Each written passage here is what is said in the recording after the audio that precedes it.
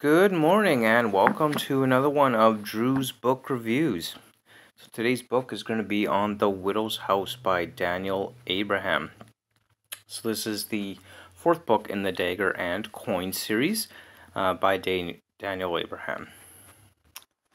So this one is all about the Widow's House, or specifically Kalliam uh, House, and the three brothers left over after their father's death, after Geder had executed uh, him for treason against the crown after he tried to basically assassinate Geder.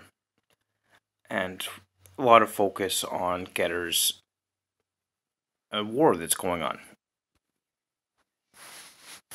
So I say Geder's War, but I guess more accurately we could call it the Spider Priest War and the Spider Goddesses War uh, is what's happening here. So essentially we have the Kalliam household has now been split effectively three ways.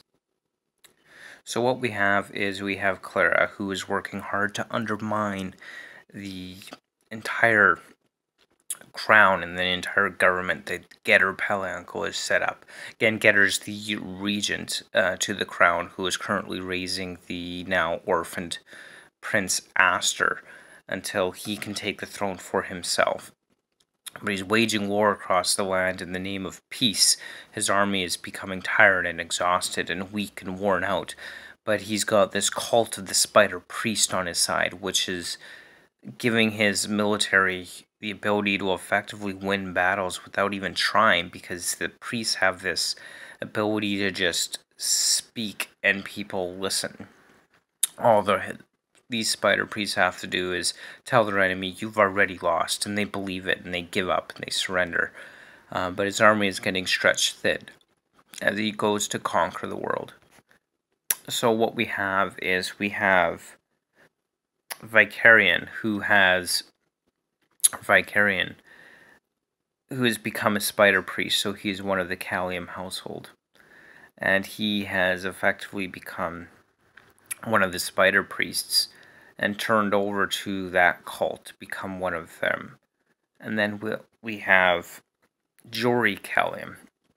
He is the son of the former traitor who was executed, and he has become head of the armies in the military of Antea, put in charge by Geder Palianco himself.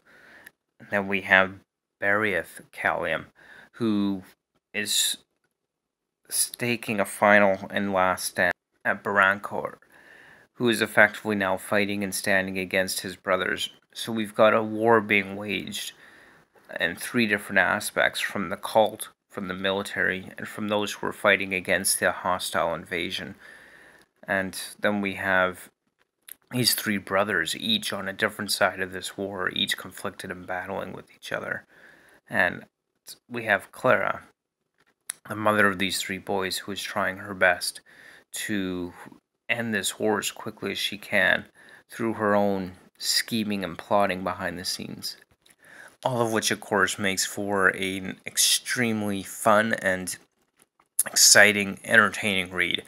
I just absolutely love the interplay and the dynamics between the politics and the war and the battles and the cult mentality and the cultish behavior of these spider priests and their attempt to subdue and control the world through the power of their goddess, which is just really awesome. Now, one of the other really fun parts of this book, particularly, is Inys, who is effectively the last dragon known to exist. In fact, Inys wasn't even known to exist until uh, Captain Marcus Wester and Master Kit found him at the end of the last book.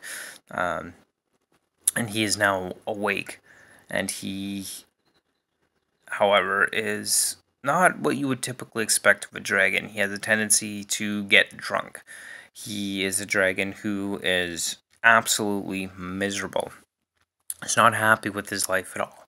He woke up to a world to find that everything he had ever loved is dead and gone, and there's nothing left of it.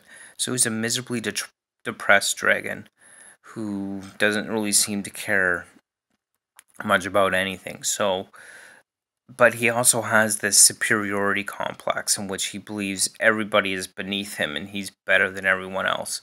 But he cannot bring himself to really care one bit about what's left of the world. And so we have Marcus, Master Kit, and Cithrin, uh, the banker, all of whom are fighting against Geder, his war, and his spider priest cult, and their only hope for success is this dragon that is depressed drunkard.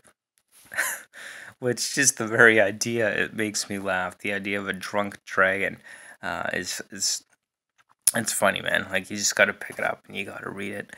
It's definitely worthwhile the read. Now, speaking of Cithrin, I really liked how her character basically invented the idea of paper money, um, and really the way that the banks were explained and paper money was explained and the reason for it within this book was really awesome. I really liked how it kind of got into that aspect a little bit about how the paper money is really just a, a promise or a letter of transfer of debt um, in which the crown or the government eventually would back and have to cash in, which if it you'll have to read it to really get the details of how it's explained within this book, but it basically explains our entire monetary system as it stands right now, uh, which is was just a really cool way to explain it, and I really liked how it took that concept and implemented it so effectively into the story uh, within the these books. And overall, I just really really enjoyed this. I'm loving this series of the Dagger and the Corn coin. So pick it up, read it, check it out. You'll definitely not regret it. It's a great read, and I'm certainly enjoying every every moment of it. So please check it out. And uh, again, thank you so much for watching. And don't forget to comment and subscribe below. As always, I will leave uh, in the description links to my Facebook and Twitter feeds, as well as the book review WordPress site as well. And of course, don't forget uh, to stay tuned because coming up next, we are picking up Falling Kingdoms by Morgan Rhodes. So, uh, again, author I have never read but heard some good things. Uh, and kudos to my wife, uh, Marianne, who happened to pick this up at a local free sharing library. So, I'm glad that she did. And I look forward to reading it. So, again, thank you so much for watching, and I hope you're having yourself a great day. And sorry about the lighting at the beginning there. And just was weird, but glad we got a little bit better lighting. Now, again, thanks for watching, and uh, you just keep enjoying those books. You have a great day.